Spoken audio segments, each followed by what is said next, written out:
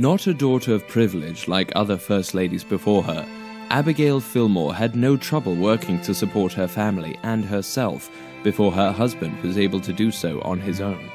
An avid reader for her entire life, her legacy is one for the books. Preferring to stay in rather than conduct and attend White House social functions, Lady Fillmore was not one for extravagance. Depicted on the obverse of the Abigail Fillmore First Spouse gold coin, she is portrayed in a high collar with stiff curls. Shown on the reverse, Lady Fillmore is shown organizing the library she helped start inside the White House, and where she entertained famous authors such as Washington Irving and Charles Dickens.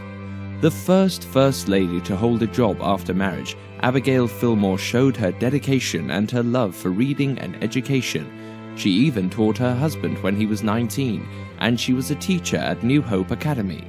A far cry from other more domesticated First Ladies before her, Abigail Fillmore's life was one of hard work and learning. The Abigail Fillmore First Spouse Gold Coin would be a wonderful addition to any collection. Contact Global Monetary Reserve today and see how our knowledgeable personal advisors can help you expand your portfolio.